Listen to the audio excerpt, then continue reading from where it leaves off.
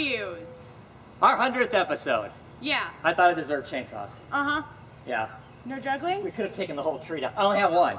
Oh. So oh, just throwing one in the air isn't juggling. So Oh. so I figured, you know, Right. can't afford three. And I had to come back on comic books to juggle. And I know. Well, in that case, never And we don't have any cats, so I couldn't mix a cat in along with No, it. no, or anything like that. Any rate, hey, appreciate you watching us all this time. Um, 100 videos, I guess, is a big deal. I don't know, we cranked out 30 in a row there. Yeah. They were really short, so part of me feels like cheating. part of me feels like it's cheating, like we haven't really done that many videos. But at any rate, um, Oh well. we'll celebrate it anyway. Yeah. So let's talk some comics. Okay, first up we have All Star Western. Night of the Owls, what you think? Number 9 Huh? yeah. Um, so we tie up the um, the them chasing Moody down in Louisiana. It's all a big ploy. Um, they knew exactly what they're doing. They basically suckered the whole group, that whole crime group, to expose themselves, and then and then um, Took them all out. and then Cinnamon and um, Nighthawk jumped in, and between all of them, they whooped up on and whatnot. Yeah. Then they track down their their um, bounty, Mr. Moody. Of course, Mr. Moody is also being chased down by now. By now. Um, I appreciated that the owl was in this so little because in the other comics,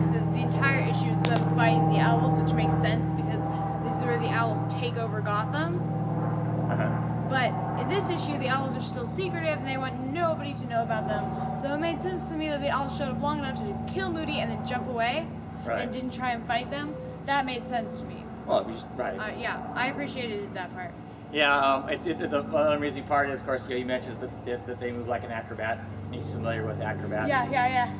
We find out that he had a wife. Uh huh. He obviously doesn't like talking about his wife. No. Sees how Arkham's second time mentioning his wife. What, what does he do? He punches Arkham in the face. Face. Yep. Basically telling him to shut up. And then we have this girl at the very end that's wearing Is an that eye Arkham's patch. wife? Or Arkham- not Arkham's wife? Jo- um, Hex's wife? Well, I don't know. I think she's all scarred up for the same reasons he is? I don't know. I don't know. I got the impression that maybe that wasn't the case, but maybe so.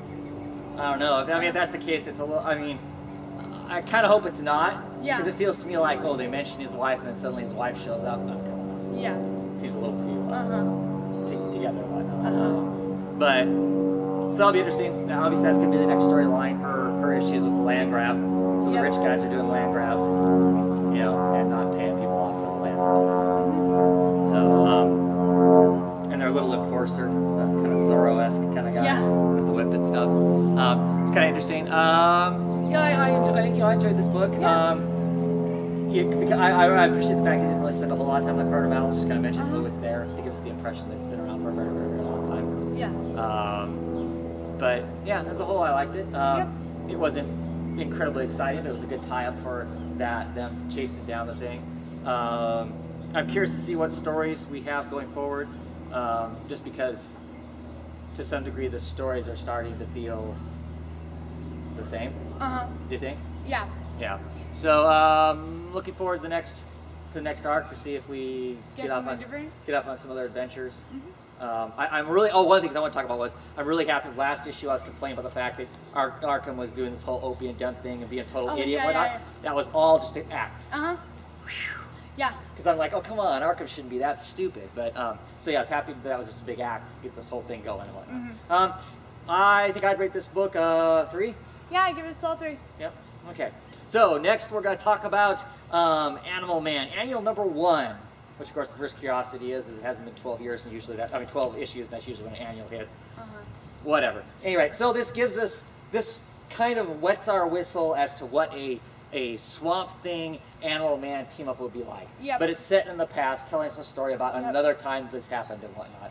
Yeah. Um, it didn't really wet my whistle though. Uh, I'll tell you right now. No, it wasn't like, oh wow, this is what it's going to be like.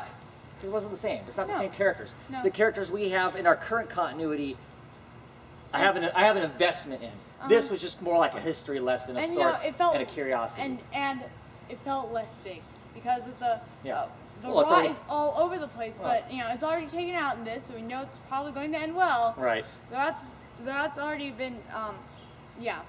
So in the past, and the rot isn't as widespread as it is now. Yeah. The the one things that I did think was interesting, the one scene where he has kind of a vision of the future, and it shows all the superheroes. Like Wonder Woman is all, and, Uh-huh. and Batman, They're all all of them are all dead. they're all dead. Their skeletons are like hung on the um, Uh-huh. lamp posts of some destroyed city or whatnot. Whoa, Yeah. that's kind of epic and whatnot. Uh-huh. Um, and he kind of sees Animal Man, our Animal Yeah. Man of sorts, it seems. Um, that part was interesting. I mean, it wasn't a bad story. It just, what was the point? Yeah. Other, other than to show, ooh, they've teamed up in the past. That, Mhm. these, that historically these people have teamed up in the past. Yeah. I think they could have given us that in a regular issue, and somehow p- imparted to us that piece of history. yeah. Maybe obviously not in detail, but But did, yeah, we, did we need this in detail? Not necessarily. Yeah. but it Um, wasn't bad. I mean, I'm not saying that it was bad. I'm just saying that it wasn't it wasn't necessary. Yeah. Um, I liked it.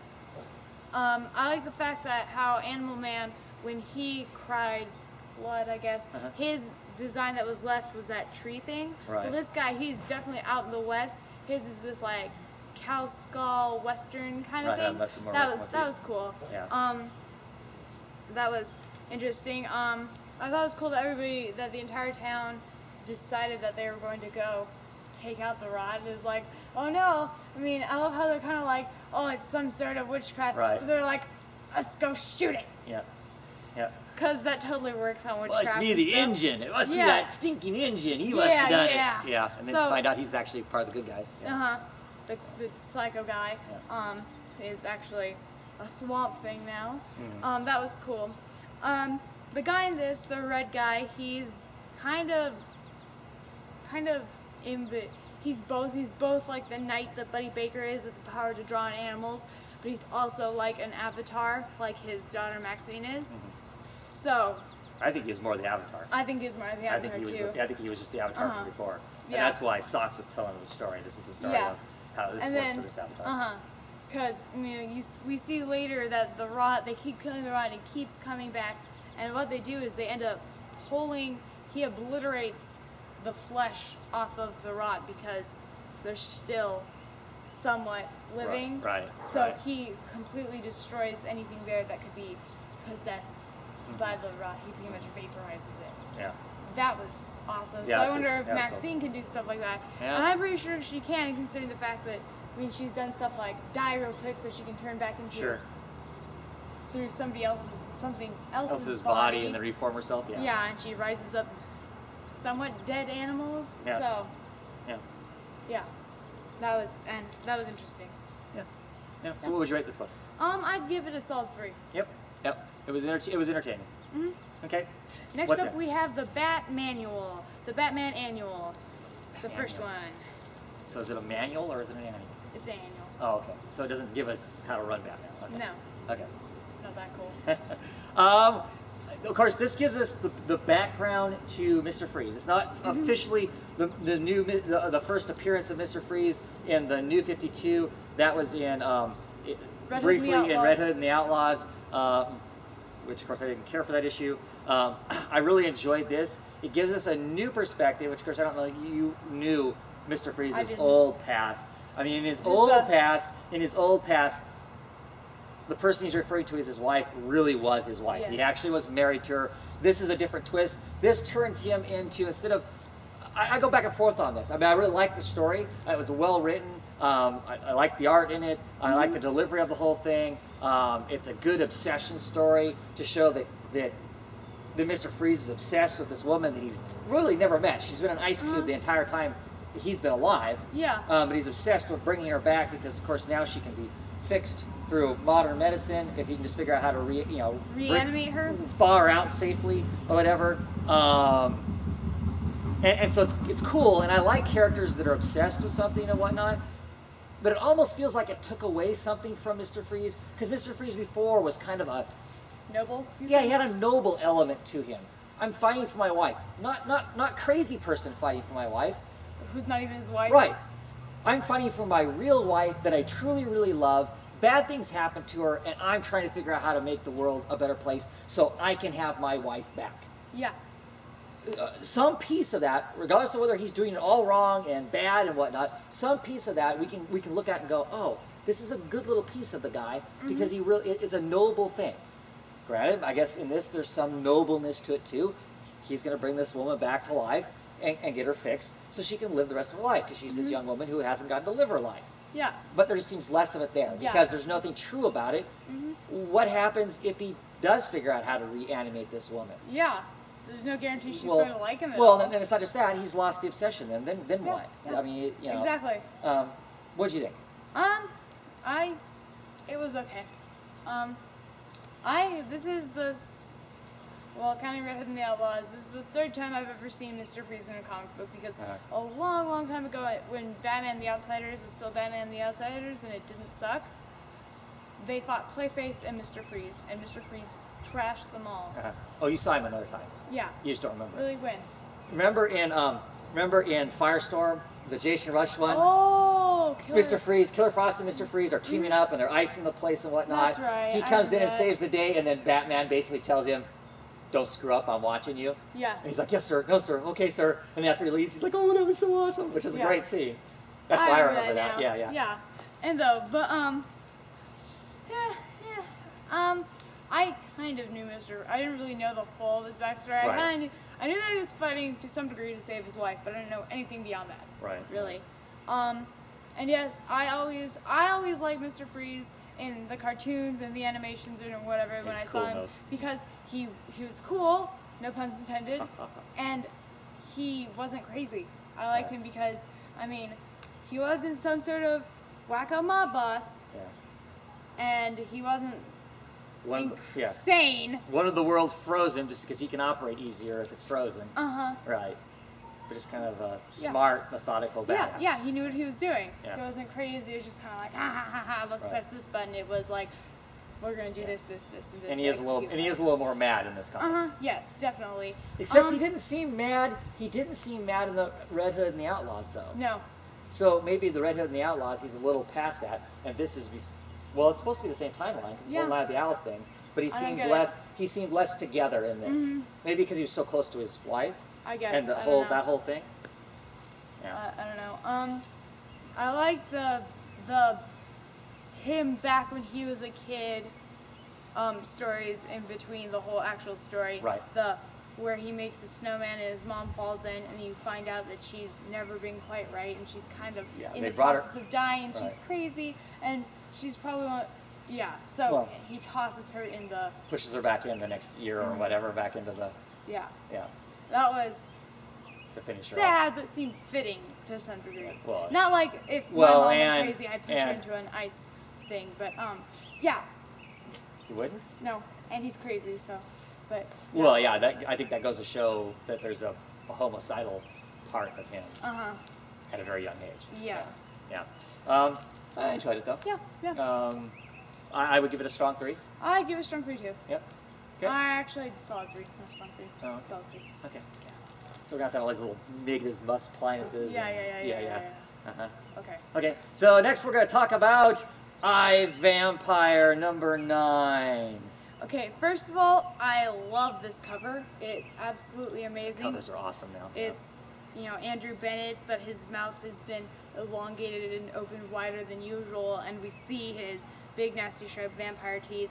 And he's sitting here, and the it's like a movie poster. It's like bite, pray, love instead of you know eat, pray, love. Yeah. And then he's got you know the hands down at the bottom in his shadow that are done in white to show because he's The the, leader. the throngs Yeah, yeah, out, yeah. exactly. Some Um, badass messiah. Yeah, and then we find out that he's not. He's taking them all to Utah. Yeah. Out in the middle of the hot, hot desert. Yeah. Oh, that's the perfect place for a vampire, isn't it? Uh huh. yeah, that was awesome. And he pretty much he's having trouble eating them, and it pretty much comes down to okay, you have a problem with the way I lead. You guys can all go eat all the humans you want to. You just have to get to me. You just have to go through me. Uh huh. Yep. Calls And- them out, and everybody's like, oh, crap. Yeah, because I mean, he just because he just annihilated a guy. Yeah. Like, earlier in the thing, Yeah. one guy has like really backed off and whatnot. Uh-huh. He, he wipes him out. Yeah, he's like, shh. And I guess he's been he's been going into town and um, buying up all the cattle, Uh huh. all the stockyard cattle. Yep. So that's what they've been feeding on, which I guess sucks if you're a vampire to eat eat cows.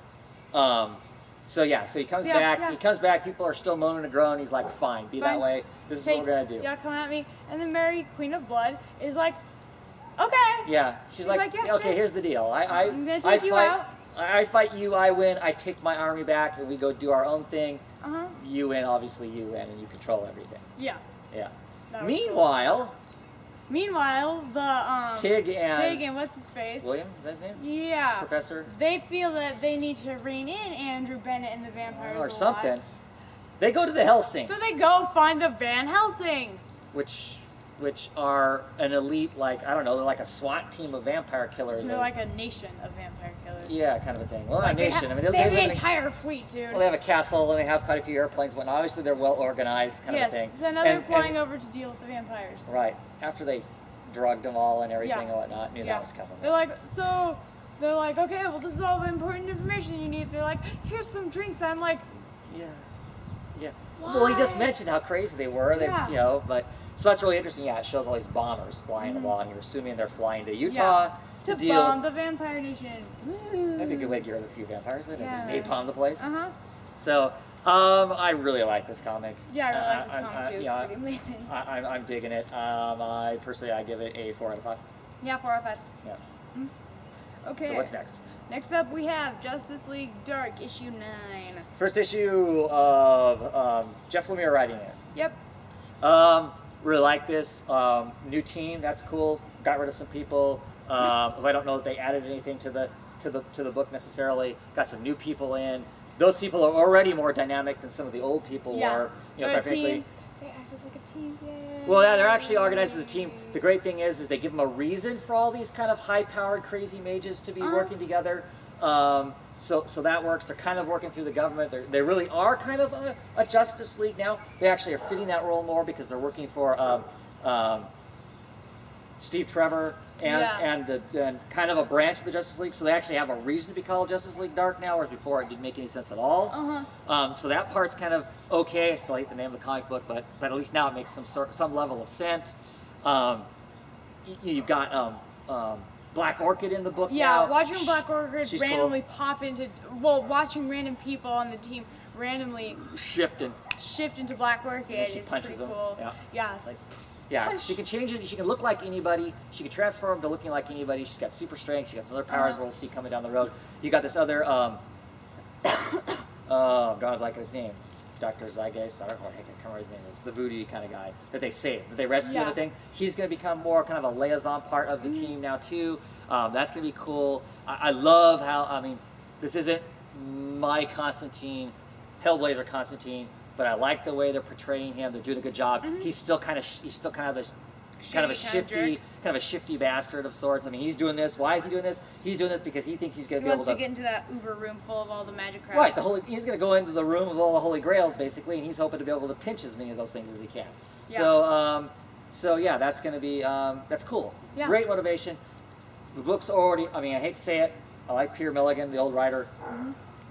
but but this book is infinitely better already Yeah. off the bat. Um, this is what it should have been from the very beginning, and Mhm. so it's fun. They, of course, they reintroduce Faust back into the thing, Yeah. which is great because I mean he's a I he's like a Felix he's, Faust. He's a- he's a good he's a good um, magical villain Mhm, you know, yes. to put back in the back in the thing and whatnot. Um, so Um, Yeah. I, I like this issue. It's, it's pretty good for the reasons that you said. They're fighting Faust. We find out that Faust has summoned up some other unpleasantly creatures with, As the- with his map. They're giant spider people. yes. No! Ew. Bad! Ew. No giant spider people. Ew. No! Ew. No, Yeah. no, no, no. Yeah, but very cool. Yeah, definitely awesome. It was cool watching them. It was cool watching them pull some tricks with Black Orchid. That was that was cool. Yeah. They function as a team. We find out that Zantan that most of the people because Zatanna really is the only one of them who's recognized as a superhero. Right, right. You know, so well, if she's in the group. A lot of the other people will be easily are convinced, and so they do. They join the group Sure. because Zatanna wants to get into. Well, Zatanna wants John Constantine to get into the room so he can grab Zatara's Well, well, stuff. he has said, "Hey, I saw a picture, and in that picture, this other stuff was there." Yeah, Did he? Zatara's crap. Did he really see a picture that has all that stuff in there, or is he lying through his teeth? I don't know. I think he's lying through his teeth, Yeah. So which will make interesting stories down the road if that's the case. yeah. Yeah, yeah. So What would we rate this book? I'm give it a solid three. all kinds of cool characters, and Uh-huh. it's actually picking up a story that I'm, I'm excited about to see happen and whatnot. So, next we're going to talk about Sixth Gun, number 22, a non silent issue. Yeah, this issue is so cool. Um, we find out that Drake had Drake has probably previously already collected all six of the guns This is the, the huge before reveal. Before they were guns. Yeah, the huge reveal is When- about middle of the comic is that um, Drake is he, the guy. he he goes, you know what? Uh, you know that when I when he got tangled with the zombie, the zombie whispered something. The mummy was whispered something in his ear. Basically, hey, look, you've redone the world once before. Do it again. And of course, in the case of the mummy guy, he wants his girlfriend back. Yeah. But so that leaves this whole. Oh my God. yeah. I mean, that's huge. That the fact is, is that maybe, and Drake doesn't know for sure. He's thinking, okay, maybe I have done this. Yeah. That would explain that giant mosaic we talked about off camera. That looks like Drake. That looks uh-huh. like Drake, and it looks kind of medieval, looks ancient. Yeah, Maybe he has. because it was probably Drake. He's had the swords back when they were swords, the guns back when they were swords. Yeah. So that was. So are the swords of, the swords of Solomon? Right, swords What? of Solomon. Is that what they're called? Yeah. They're still chasing after him. The rest of them get mm-hmm. mulched, basically get wiped Yep. out, or a whole bunch more wiped out. And they have one head of the leaders- honcho, Yep. who's got the, the personal beef with Sinclair, Yep. Price up, tries taking him out. Drake totally pulls, he turns the tables and tortures the guy for hours and hours and Yeah. hours and then leaves him for dead. Big mistake. And then he gets rescued by snake, Snake people. Yeah, I'm not sure what I think about that. About the whole snake people thing. I don't. Uh, we may be jumping the shark there. I guess yeah. just just a little. I, not, we'll see we'll see what that is. It's the only part about like I'm like hmm, I don't know. But but really the big thing is is you know is Becky's okay. What are we doing now? And he kind of reveals. It looks like it sounds like maybe I've already done this once. hmm You know what happens? What happens now? Yeah. Um, huge. So- that's huge. I mean, Yeah. I, I read that and I'm like, holy crap. Yeah. You know, I mean that's that's huge as far as the the the bigger um, storyline goes. and. Yeah. whatnot. Really, really enjoying this comic. I don't think this issue was as good as the last issue as far as just pure No. excitement, but the story Definitely and what as far as the as far as the big world plot goes, huge, Yeah. huge, huge, huge. So what would you rate this? Um, I'd give it four. Yeah, pretty awesome stuff. So is that it? Yep. That it for the last week? Uh-huh. And our hundredth video. Want to thank everybody for, like I said again, for um, watching. The people All who your point, views. Yep, the people who point out point out um, that we're somebody you should watch and whatnot. Uh, we, we appreciate that. Um, we love talking comics, and you know, um, you know, in particular, I like talking with all you guys and reading the comments if you comment and whatnot. So please do.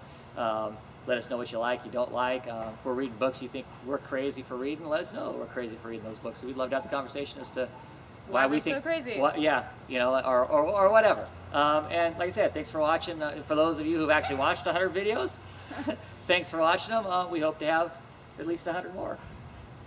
Yep. Anything else? Not really. Bye!